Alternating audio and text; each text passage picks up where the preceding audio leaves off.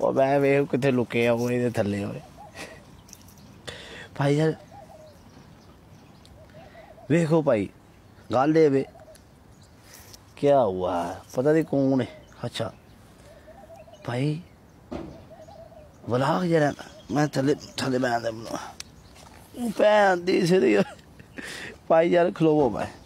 ਇੱਥੇ ਵਲਾਗ ਬੜਾ ਲੈਵਲ ਦਾ ਬੜਨਾ ਵਲਾਗ वलाग भाईजान है पिंकी वालखाम भाईजान ये ये ये आम मिट्टी नहीं है भाई हाँ जी ये मिट्टी जो आम मिट्टी नहीं है हाँ जी ए खजूरा ने ਇਹਦੇ ਅੰਦਰ ਮੈਂ ਇੱਕ ਹੀਰਾ ਲੁਕਾਇਆ ਹੈ ਠੀਕ ਹੈ ਇਸ ਖਜੂਰ ਨੂੰ ਚੋ ਸਭ ਮੈਂ ਇਹ- ਇਹ ਸੋਨੇ ਦੀਆਂ ਇੱਟਾਂ ਲਵਾਈਆਂ ਨੇ ਸਾਈਡਾਂ ਤੇ ਇਹਦੇ ਅੰਦਰ ਸਾਈਡ ਤੇ ਸੋਨਾ ਲਵਾਇਆ ਹੈ ਠੀਕ ਹੈ ਇਹ ਜਦੋਂ ਪੱਟੋਗੇ ਨਾ ਥੱਲੋਂ ਥੱਲੋਂ ਨਿਕਲਣਾ ਸੋਨਾ ਠੀਕ ਹੈ ਤੇ ਮੈਨੂੰ ਮੈਨੂੰ ਕੱਲ ਗੋਰੇ ਦਾ ਫੋਨ ਆਇਆ ਗੋਰੇ ਦਾ।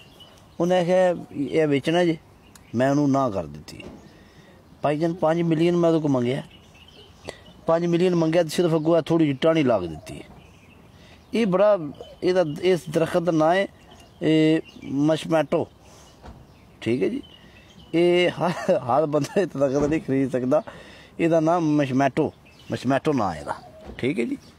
ਇਹ ਜਿੰਨੇ ਵੀ ਇੱਥੇ ਬੰਦੇ ਨੇ ਇਹ ਪਾਗਲ ਹੋਏ ਫਿਰਦੇ ਨੇ ਇਹ ਦਰਖਤ ਲੱਭਦੇ ਫਿਰਦੇ ਨੇ ਕਿ ਸਾਨੂੰ ਇਹ ਦਰਖਤ ਲੱਭ ਜੇ ਪਰ ਇਹ ਦਰਖਤ ਅਵੇਲੇਬਲ ਸਿਰਫ ਮੇਰੇ ਕੋਲ ਹੀ ਹੈ ਹੁਣ ਤੁਹਾਨੂੰ ਦੂਸਰੇ ਜਿਹੜੇ ਦਰਖਤ ਨੇ ਜਿਨ੍ਹਾਂ ਨੂੰ ਸੇਬ ਲੱਗਦੇ ਨੇ ਸੇਬਾਂ ਵਾਲਾ ਦਰਖਤ ਵਹਾਨੇ ਜੀ ਇੱਕ ਮਿੰਟ ਜੀ एक भाईजान भाईजान ये हम पहुंच गए हैं हुंजा की वादियों में ये हम हुंजा वाली साइड पर आ गए हैं भैन दी सिरी ਕਿਹੜੇ ਕੰਮ ਤੇ ਲਾ ਦਿੱਤਾ ਜੇ, ਚੰਗੇ ਭਲੇ ਚੋਰੀ ਟਿਕਟੋਕ ਤੇ ਮੈਚ ਖੇਡਨੇ ਸਨ ਇਹ ਵਲਾਗ ਬਣਾ।